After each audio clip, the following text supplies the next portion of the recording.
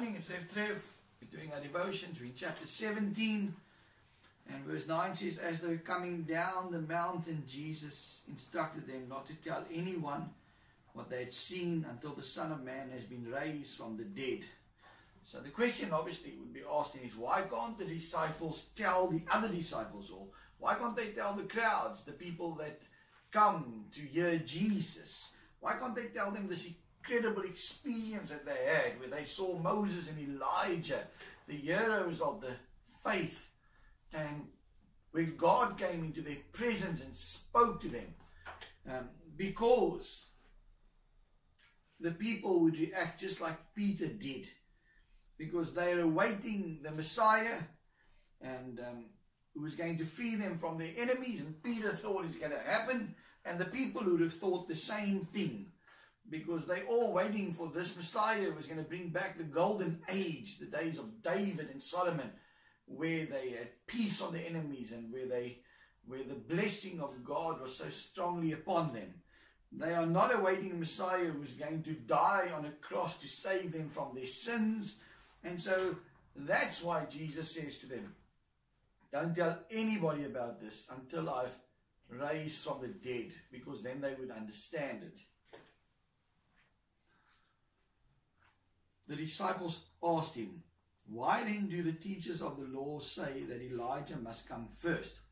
So, as they now leaving, as they're coming back to be amongst the others, um, Peter, James, and John asked Jesus about this question then. Lord, because they're thinking the end has come. So they say, why did the teachers of the law say that Elijah must come first? Now, the teachers of the law thought that Elijah would come and he would prepare the way for the Messiah. He would make all things right. Um, and they got it from Malachi 3.1. I will send my messenger who will prepare the way before me.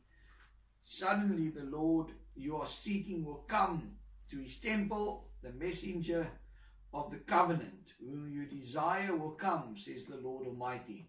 And Malachi 4 5, see, I will send the prophet Elijah to you before the great and dreadful day of the Lord comes.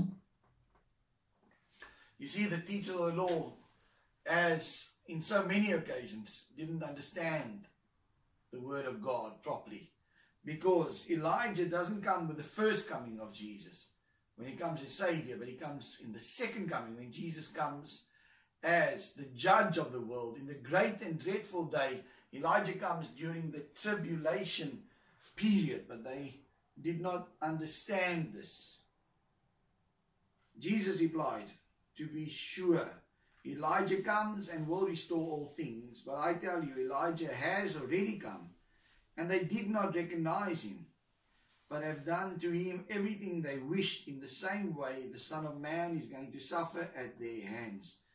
And so John the Baptist came in the spirit of Elijah. He came to, to prepare the hearts of people, repent of your sins, for the kingdom of God is at hand, or the kingdom of God is near. Yet we see that they killed John and Jesus says, just as they killed John the Baptist, so they are going to kill me. Then the disciples understood that he was talking about John the Baptist. To me, it's almost a miracle. They've understood what Jesus said because usually they didn't understand him.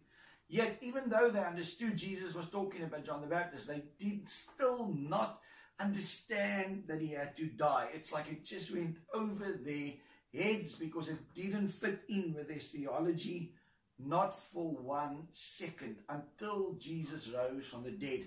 And we see that in 2 Peter 1 16 it says, For we did not follow cleverly devised stories when we told you about the coming of our Lord Jesus Christ in power, but we were eyewitnesses of his majesty. He received honor and glory from God the Father when the voice came to him from the majestic glory saying, This is my Son whom I love with whom I'm well pleased. We ourselves heard this voice that came from heaven when we were with him on the sacred mountain. And so Peter then shares in the second Peter about this occasion. And he shared this after the resurrection of Jesus. Friends, can you, like Peter, say, I am a witness of Jesus Christ? Peter heard God speak. He saw Jesus. He was with him every day. We have not seen him. Yet, if we know him, if we are his children, then he has revealed himself to us because we were in darkness and now we're in light because we not only read about him, but we believe that he died. We believe he rose again. We believe he's seated at the right hand of God. Why? Because he lives now within us. And so today my encouragement to you is, just like Peter testified about Jesus, I challenge you today to testify about the goodness of the Lord in your lives to a friend or a family member. This is Rev Trev. Have a wonderful day. God bless you.